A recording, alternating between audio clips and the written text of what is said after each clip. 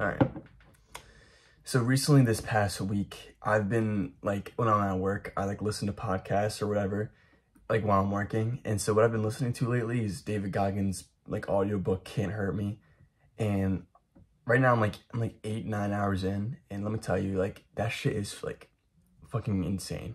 Like he goes through his like whole story about like him being his like childhood trauma and then him being fat and then him being like going to the Navy. It's fucking insane. But something that I want to give to you, like something that I, I learned is the, the mental cookie jar, right? Goggins is talking about this like mental cookie jar that he has whenever he's, I mean, on a run or something, he's doing just something difficult, right? He like goes into his cookie jar and then eats the cookie and then he like has more power and then he starts running, whatever. But what the mental cookie jar really is, is like all the things that you've overcame in your life already. So what does that really mean? So let's say your girl broke up with you, right? But a year later, you're in the gym, you're working out. A cook, the cookie in the cookie jar would be you overcoming the breakup, you overcoming that sadness. Or for example, right?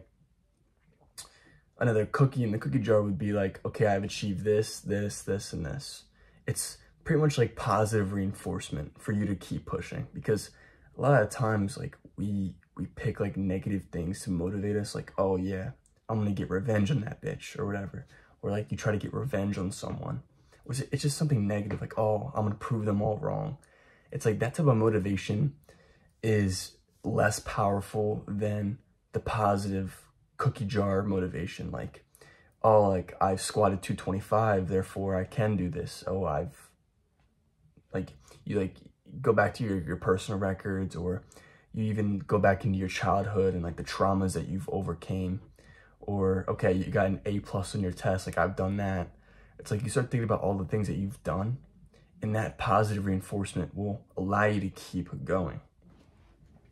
And this the reason this stuck out to me is because like we love to cling on to like negativity. We love to cling on to the bad things in life all the the bad things that hurt us all the negative like trends on social media. You know what's fucking crazy? When when I was with um the Bros Think Big podcast, like when I was like filming with all them, but by the way, like I have a podcast that I'm on, right? Um we were we were looking over like titles and my one friend he sent this in the group chat a video about this guy testing this thing on TikTok. It was like a negative video versus like a positive video, like a negative title versus a positive title. And the negative title did so much better than the positive one. And it just goes to show that, like, when you are on social media, like, fuck. My bad. I'm like, I'm like still kind of like waking up. But so what it, what that goes to show is that on social media, especially, they like to push out more negative things than anything. Like, like I literally made a video on my channel couple weeks ago I literally seen muff I see motherfuckers die on Instagram. I see motherfuckers get shot, people get ran over, people getting killed on social media. And I look in the comments and motherfucker like the top comments like, oh, day 28 of me seeing someone die on Instagram. It's like, bro, that shit's actually retarded. So don't cling, don't try to cling on to those negative things. And it's so much easier said than done. But what you really need to do is just flip your whole mindset completely when you're doing something difficult, let's say you're, you're going up to a test and you didn't study, right? So what you want to do is during that test, you don't know anything, blah, blah, blah, blah.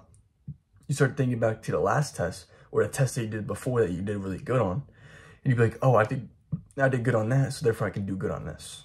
So it's like this positive like mindset, this positive reinforcement comes up in a lot of books I read too.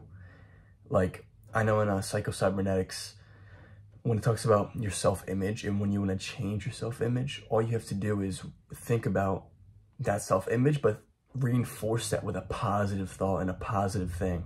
Like it says, gives an example of you tying your shoe for the first time and learning it.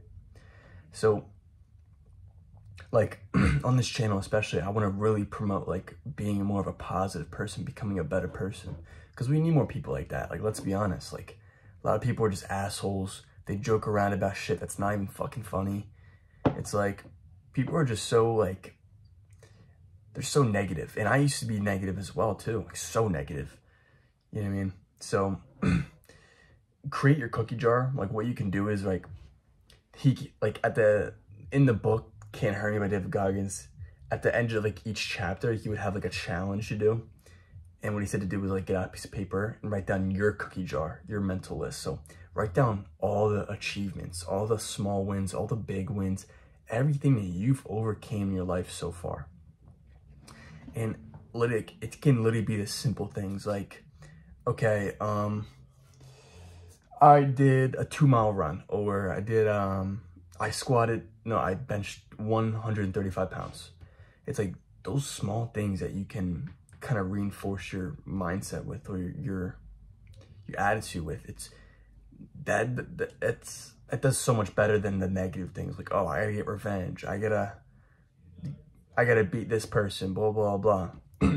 it's like the positive, the positive force really propels you to be more motivated, propels you to do more work, propels you to be more productive. So, so get a piece of paper, write down your mental cookie jar, your, all the things that you've done, all the things that you've overcame, even like, oh, like, um, I had my first kiss, like even like some shit like that. Like go go all the way back into your childhood too. Like even if you had some fucked up shit in your childhood, write down I overcame that. I overcame this. I overcame that. You overcame these like mental struggles. That's what it's really about. It's not just like, oh, I made a thousand dollars. No, it's about it's about like the the real hard challenge that you overcame. Like for example, um oh, I overcame smoking weed, right? Oh, I stopped drinking. Oh, I got I got rid of those old I got rid of those old asshole friends, you know what I mean? It's like you can kind of stack on things in your cookie jar. And whenever you're feeling unmotivated, whenever you're feeling like you can't do it anymore, pick up that cookie jar and look at it. Oh, I've done this, I've done this, I've done this, right? And you start thinking like, okay, I, I can do this, right? If I can do these things, I can get out of bed. So, hold on.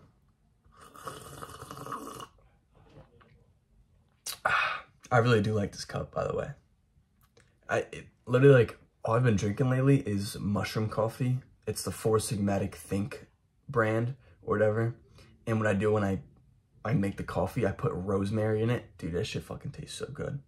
But but yeah, write down your cookie jar and then just use that. Just stuff it either somewhere, put it under your pillow, make, take, take a picture of it, put it as your background on your on your phone or whatever. And yeah, I hope I hope that helped you. And with that, continue your journey and keep moving forward. Cheers.